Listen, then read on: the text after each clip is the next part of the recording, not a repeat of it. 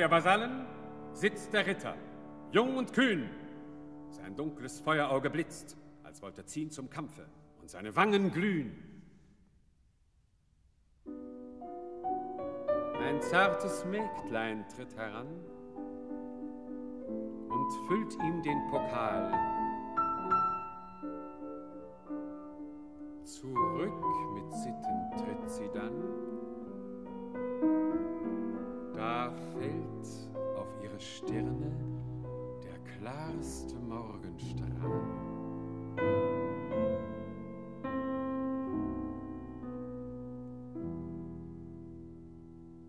Der Ritter aber fasst sie schnell bei ihrer weißen Hand. Ihr blaues Auge, frisch und hell, sie schlägt es erst zu Boden, dann hebt sie's unverwandt.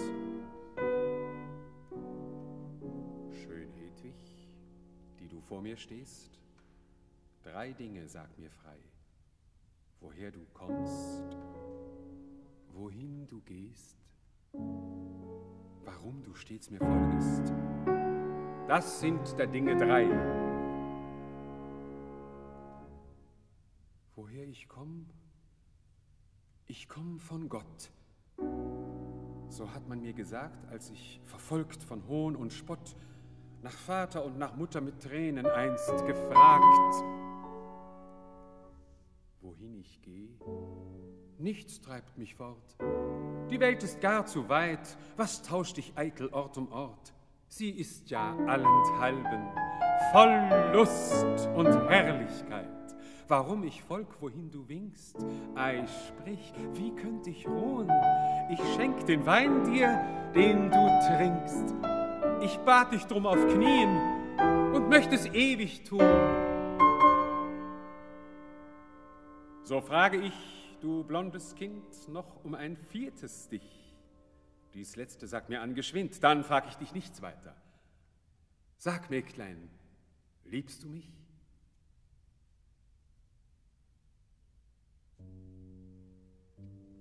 Im Anfang steht sie starr und stumm. Dann schaut sie langsam sich im Kreis der ernsten Gäste um und faltet ihre Hände und spricht.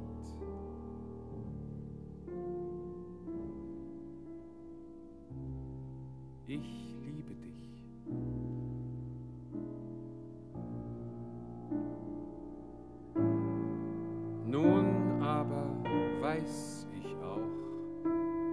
wohin ich gehen muss von hier. Wohl ist's mir klar in meinem Sinn, nachdem ich dies gestanden, ziemt nur der Schleier mir.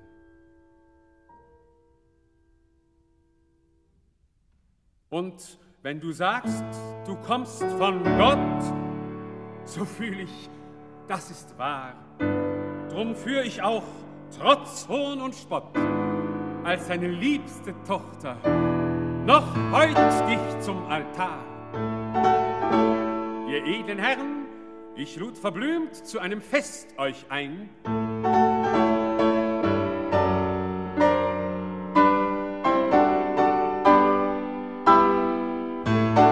Ihr Ritter, stolz und hochgerühmt, so folgt mir zur Kapelle.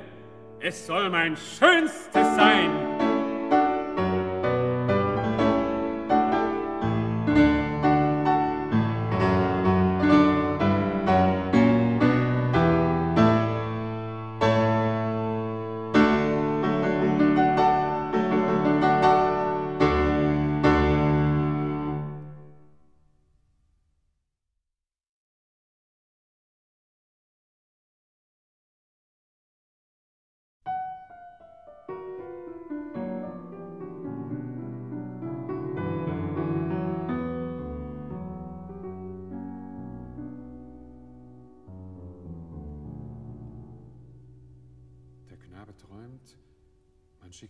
Fort mit dreißig Talern zum Heideort.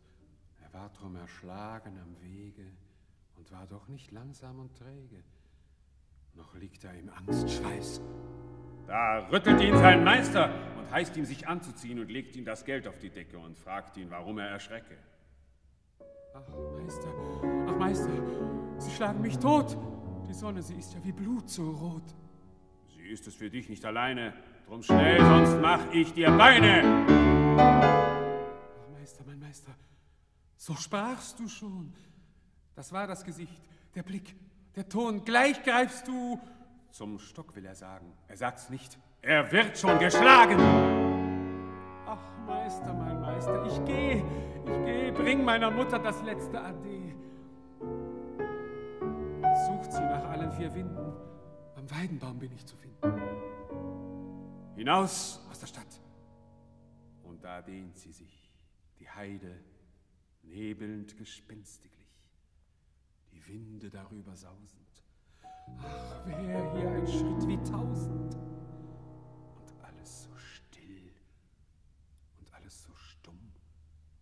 Man sieht sich umsonst nach Lebendigem um. Nur hungrige Vögel schießen aus Wolken, um Würmer zu spießen. Er kommt ans einsame Hirtenhaus. Der alte Hirt schaut eben heraus. Des Knaben Angst ist gestiegen. Am Wege bleibt er noch liegen. Ach, Hirte, du bist ja von frommer Art. Vier gute Groschen hab ich erspart. Gib deinen Knecht mir zur Seite, dass er zum Dorf mich begleite. Ich will sie ihm geben. Er trinke dafür am nächsten Sonntag ein gutes Bier. Dies Geld hier, ich trag es mit Beben. Man nahm mir im Traum drum das Leben. Der Hirt, der winkte dem langen Knecht. Er schnitt sich eben den Stecken zurecht. Jetzt trat er hervor, wie graute dem Knaben, als er ihn schaute. Ach, Meister Hirte, ach nein, ach nein, es ist doch besser, ich gehe allein. Der Lange spricht grinsend zum Alten, er will die vier Groschen behalten. Da sind die vier Groschen! Er wirft sie hin und eilt hinweg mit verstörtem Sinn. Schon kann er die Weide erblicken. Da klopft ihm der Knecht in den Rücken hältst es nicht aus, du gehst zu geschwind, ei, eile mit Weile, du bist ja noch Kind. Auch muss das Geld dich beschweren, wer kann dir das Ausruhen verwehren? Komm, setz dich unter den Weidenbaum und dort erzähl mir den hässlichen Traum. Ich träumte, Gott soll mich verdammen, trifft's nicht mit deinem zusammen. Er fasst den Knaben wohl bei der Hand, der leistet auch nimmer mehr Widerstand. Die Blätter flüstern so schaurig, das Wässerlein rieselt so traurig. Nun sprich, du träumtest. Es kam ein Mann. War ich das? Sieh mich doch näher an. Ich denke, du hast mich gesehen. Nun weiter, wie ist es geschehen? Wie ist es geschehen? Er zog ein Messer. War das wie dies? Ach ja, ach ja! Er zog's und stieß. Er stieß dir's wohl so durch die Kehle. Was hilft es auch, dass ich dich quäle? Und fragt ihr, wie's weitergekommen sei? So fragt zwei Vögel, sie saßen dabei. Der Rabe verweilte gar heiter. Die Taube konnte nicht Rabe erzählt, was der Böse noch tat und auch, wie es der Henker gerochen hat. Die Taube erzählt, wie der Knabe geweint und gebetet habe.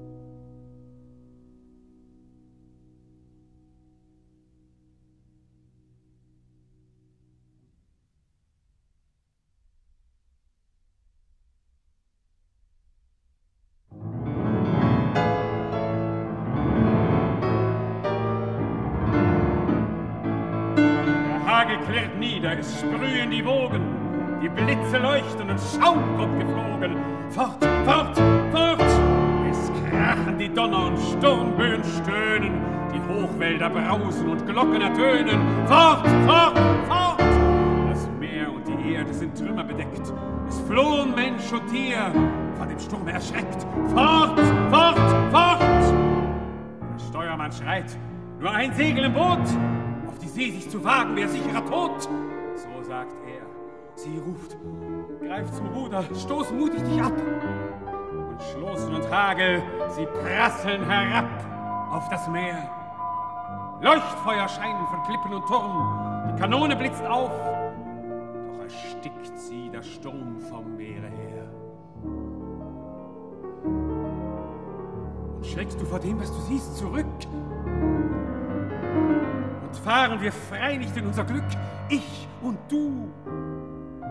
Ein Schiffsmantel deckt die liebenden beide. Sie sprechen sich Mut in der Angst und der Freude, flüsternd zu.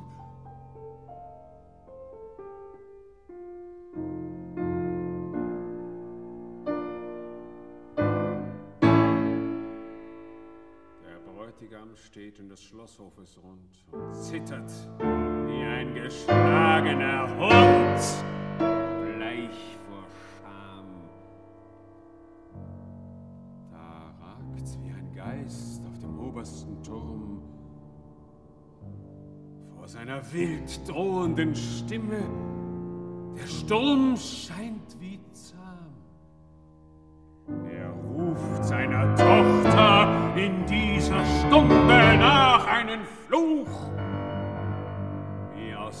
Vaters Munde nie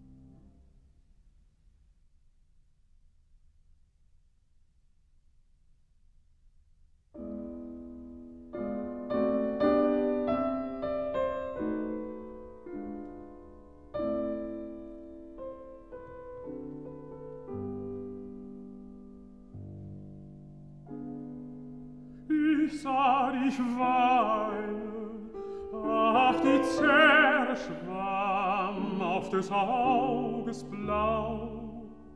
Und dieses Auge, dacht ich, wär ein Veilchen nass vom Tau. Ich sah dich lächeln, sah, wie es immer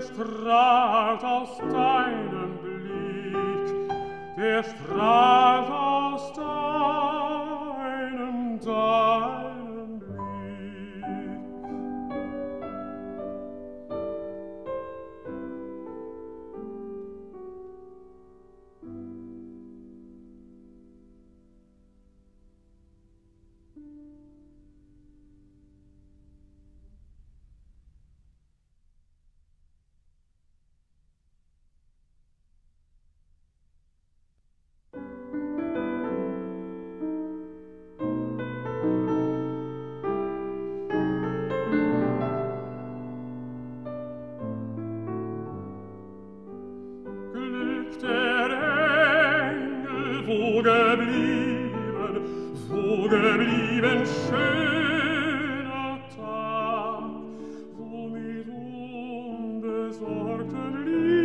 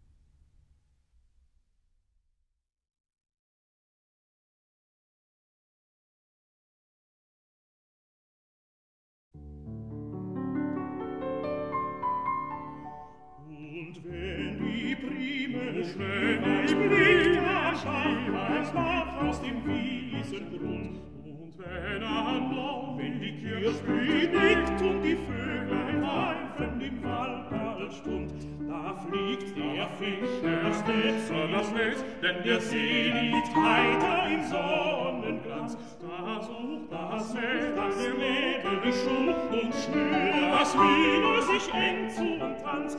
Und denket, denket, denket,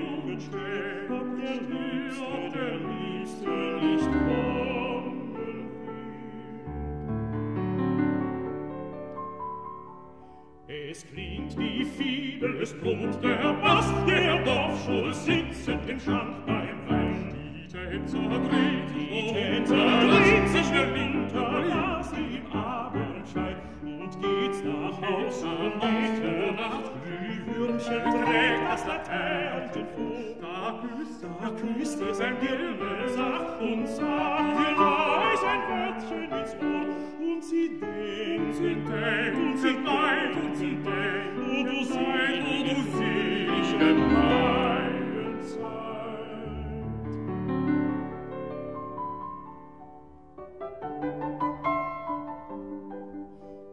selige, fröhliche meine Zeit, o selige Zeit. Meine Zeit, selige Zeit.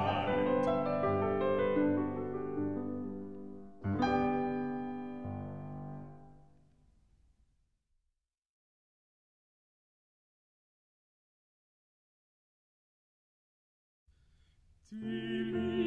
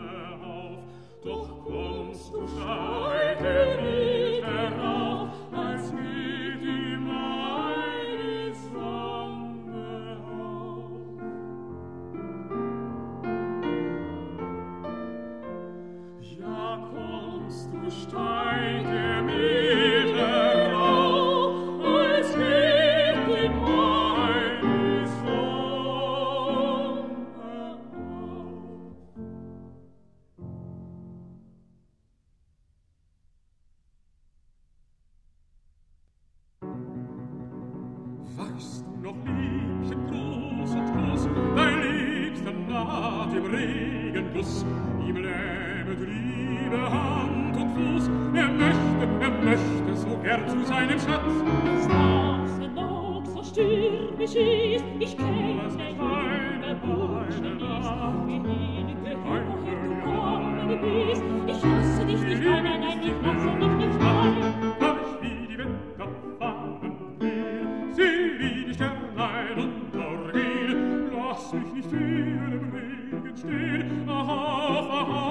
can't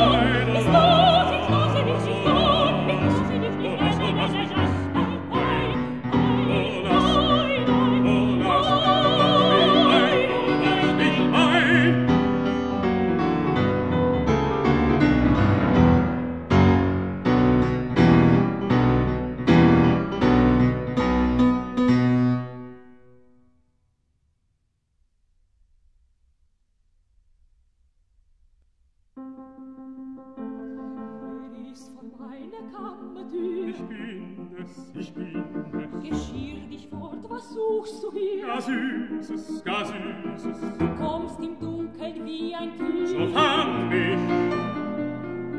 Du hast mich wohl ein wenig lieb. Von Herzen, von Herzen, von Herzen. Öffne dich nach deinem Wunsch. Oh, öffne, oh, öffne. Da wäre ja Schlaf und Ruhe hier. Lass ihn sein, lass ihn sein. Ein Taube, du in Tauberschlag. Ein Teutel. Du girtest bis zum hellen Tag. Wohl möglich, wohl möglich. Wohl möglich. Ein Himmel lass ich dich herein. Tust dennoch, tust dennoch. Du stelltest wohl dich täglich ein. Mit Freude, mit Freude. Wie keck du bist und was du warst. So darf ich. Gewiss nicht, gewiss nicht,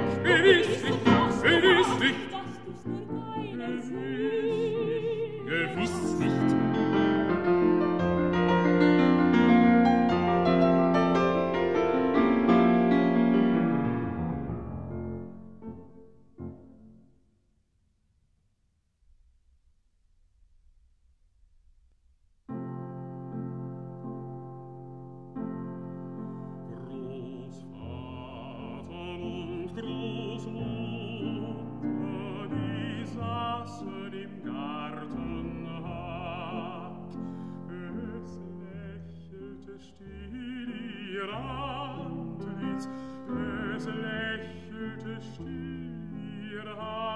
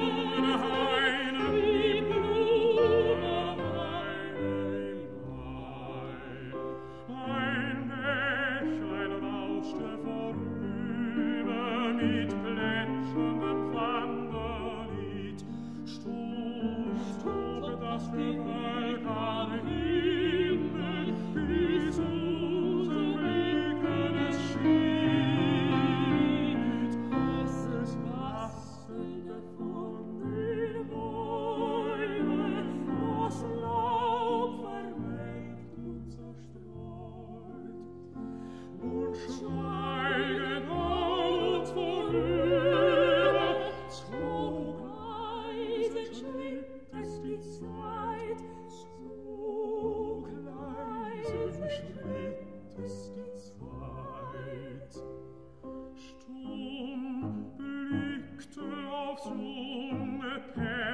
das alte, stille Paar. Es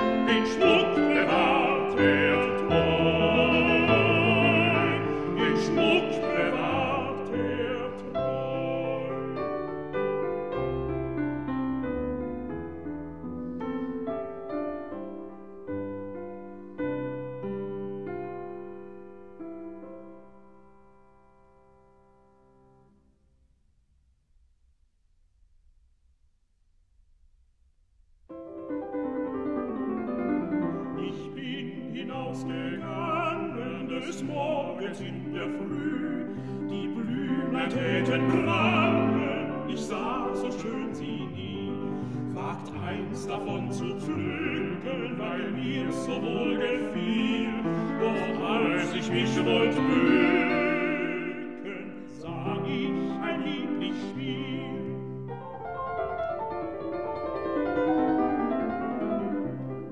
Die Schmetterling und Bienen, die Käfer hell und blank, die mussten all ihm dienen bei fröhlichem Morgensang scherzte viel und küsste das Blümlein auf den Mund und trieb es nach Gelüsten wohl eine ganze Stund.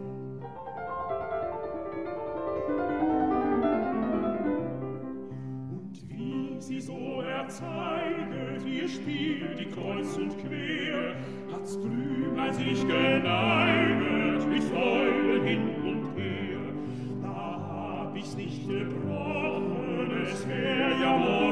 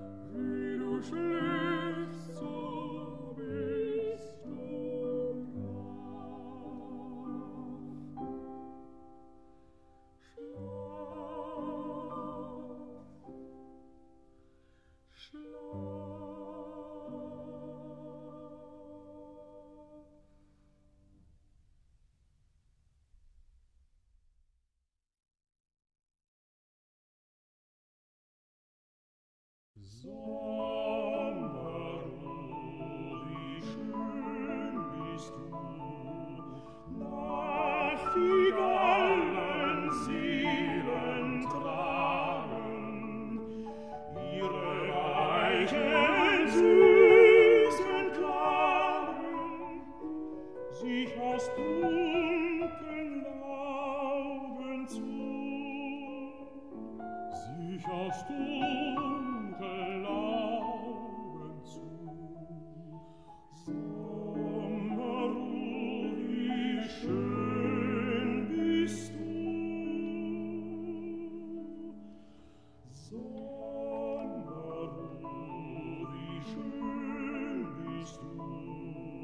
Klare Glocken klänge klingen auf der Lüfte lauen Schlingen von der Mond umblitzten Flut von der Mond